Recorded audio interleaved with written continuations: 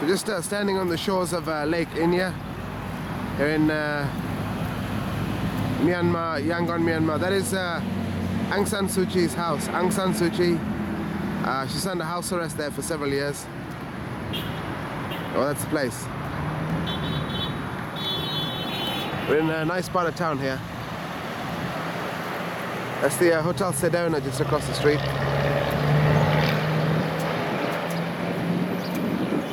And uh, Lake Inya. So if you remember the story, uh, some American guy uh, swam across a lake to a place uh, and spent the night with her. Yeah, this is the lake. It's Aung San Suu Kyi's house. Very famous place when you come to Burma. Probably the most famous uh, Burmese person. Not a bad place to be locked up actually. It's on the same street as the Korean Embassy, the US Embassy. Uh, Yangon University is just down the road.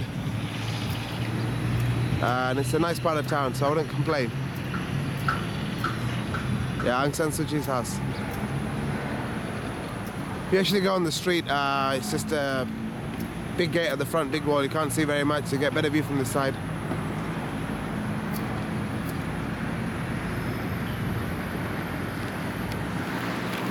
All right, off to the airport. Bye.